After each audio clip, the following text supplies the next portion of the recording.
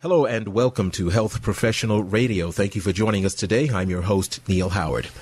ALS, or Lou Gehrig's disease, affects as many as 30,000 Americans, with an estimated 5,000 or so new cases diagnosed every year here in the United States. Our guests are Chuck and Stacy Schretzman. Chuck is a veteran, Army veteran, and West Point football player, and his wife Stacy is also a West Point graduate. Both of them are here to talk with us about living with ALS and advocating for greater awareness and further medical research. Thanks for coming to the program, both Chuck and Stacy Schretzman. No worries. Have, No, no problem. So, Chuck, Army veteran, a combat vet, you were, I think it was shortly after you took a civilian job that uh, you were diagnosed. Is that correct? Yes, I was diagnosed in April of 15, 2015. I just retired from the Army in November of 2014. Yeah, I, I, uh, the diagnosis came six months after I left the Army. Was there anything prior to you leaving service that um, you noticed later on that may have been a problem, something that maybe you didn't pay attention to, or I- anything that may have tipped you off looking back? Yeah, um, you know, yeah, yes, there was a lot of things. Um, looking back, I knew um, I had this for a long time. hmm Our problems for a long time. I'll let Stacy um, kind of talk about it little so bit. you know, hindsight is always twenty twenty, Neal. Um, I think um, in about the 2013 mark, after he'd returned home from Afghanistan, um, he, you know, later on in the year, he started to have some trouble um, in 2013, 2014, standing at the position of attention. His balance was off. And you know, this this is a Division One athlete that he has kept himself, you know, over the course of the last, you know, 20, 30 years. He's kept himself in peak physical condition. He's Absolutely. the airborne ranger. Um, and so it was really out of the ordinary that his gait was starting to suffer when he was trying to run. Um, two of our children uh, were actually cadets at West Point too when we were stationed there.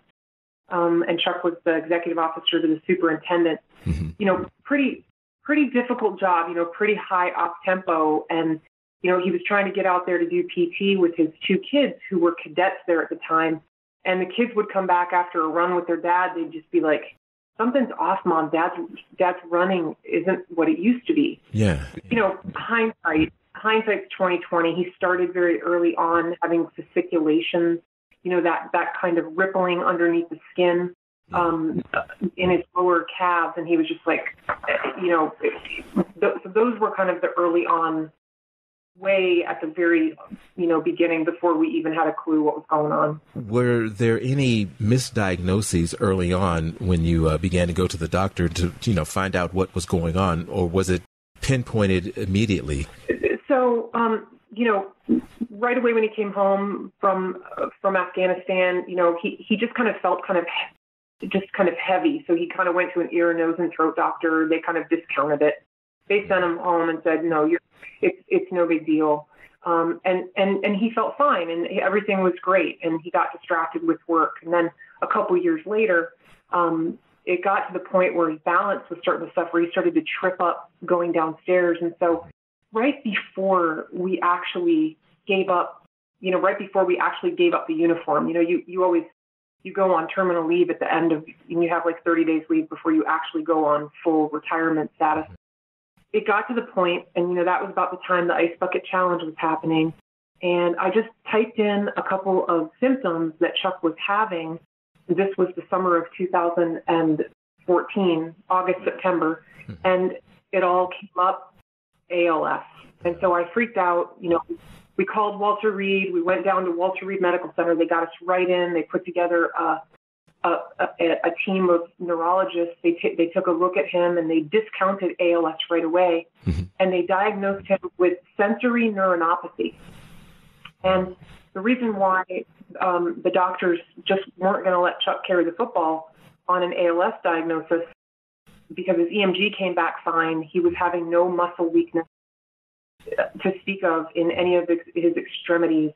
He, you know, they said, this isn't ALS, this is just something sensory because he had that heavy head feeling, that, Yeah, yeah. that feeling that, that the pressure in his brain. Has there been um, suggested any link? I mean, um, more than twenty years in the in the army, uh, and you get out, you, you're taking a civilian job. You're a military family, Stacy. Is there any link between military service and ALS? Well, I know that there's there's been a number of studies out there, and they're saying that veterans are twice as likely. Now, whether or not that means that the Army is just doing a better job, the military is doing a better job of gathering data and gathering information because soldiers, you know, they've got shot records, they've got mm-hmm. they've got really good track of their soldiers whether or not our reporting agencies are just just do a better job, or if it could be linked to think of think of all the environmental things these soldiers are going through. And I, this is just Stacy and Chuck just talking back and forth over the kitchen table. Think of all of the environmental things like Chuck was breathing in like burning tires in Afghanistan. Yes, yes. You know, you know Afghanistan, Iraq. He was in Haiti. He was in Haiti for a couple months. Just I think the environmental concerns that, that, that our soldiers face, not to mention all of the crazy inoculations, which we're grateful for because they protect us from so much. Mm-hmm. But you know, you gotta not not to mention being hit by a couple IEDs and getting your bell rung. You know, there, there's that playing uh, football, Neal. Playing football back at West Point. I mean, we I know I I can't remember any concussions, but I my bell rung a lot.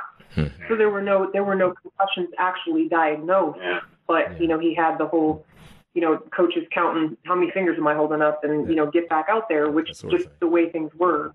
You're here to advocate for more awareness and uh, much more research into uh, ALS. I, I, saw the, the uh, one of the uh, installments on, on YouTube. Talk about this uh, this initiative behind ALS.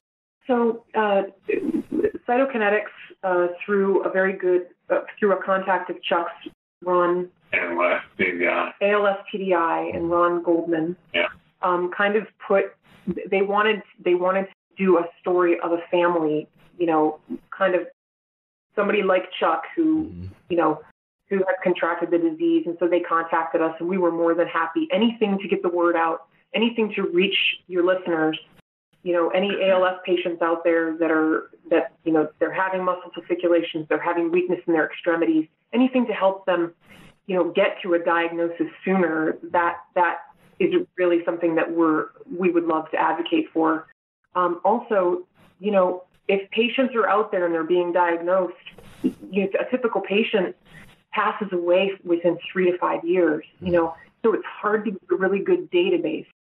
Um, so we really like to advocate strongly for the Answer ALS registry, you know, getting a database of, of actual people giving blood so they can actually have some sort of a data bank of, of patients. But Cytokinetics is, is this wonderful company out in California.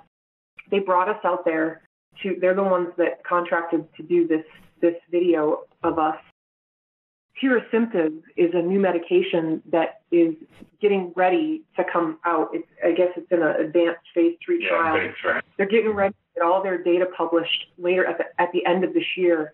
And it could be the actual next big therapy to come out as early as 2018, yeah. spring of 2018. Exciting. exciting. Helping with, oh, it's very exciting. Helping with breathing function. And, you know, a lot of people say, why can't, why is it that they just can't come up with new drug therapies? Why can't they come up with it's not that easy. We were able to go to cytokinetics.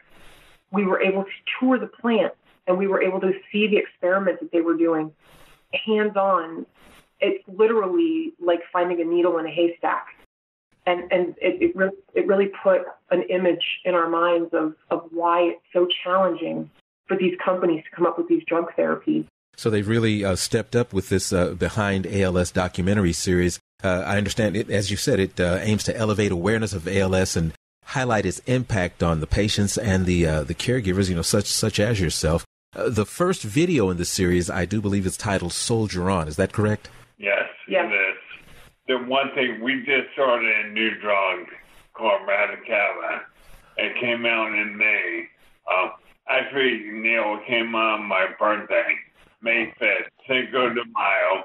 And so my number in the college was 552. You know, it's all, it's all coincidence. He's, but, yeah, he's number five five, and it uh, came out on May 5th. Yeah. So, you know, it's got to be a cure. Absolutely. Yeah, Absolutely. Um, you know, yeah. Radicava is the, um, It's, it's the second ALS drug in 22 years.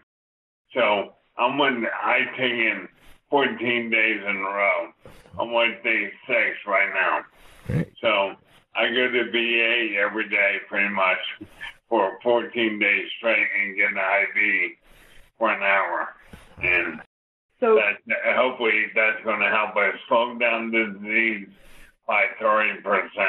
yeah, something. So that's a very positive thing for veterans. Absolutely. that the yes. VA, the VA really took it by the by the reins, Radicava, because you know anytime the CDC comes out with a new drug and they administer that drug, you know there's a lot of there's a big learning curve, Yes. and the VA has really really stepped up its game and it's it's getting this drug to its veterans, and we're just very very grateful. Well, we'd like to learn some more. Where can we go online and learn about the uh, Behind ALS initiative? And also uh, check out the uh, video series. Uh, I know it's on YouTube. Is it uh, located elsewhere as well? You can go to cytokinetics.com. Uh, there's also on YouTube. So Yeah, on YouTube. Yes, and you can follow Cytokinetics on Facebook, and there'll be a series of videos on ALS on the Cytokinetics webpage. Well, I thank you both for talking with me today. It's been a pleasure. we're going to win, Neal. We're, We're going to gonna win. Hoorah. Absolutely. Hoorah. Wow. Not hoorah. Hoorah.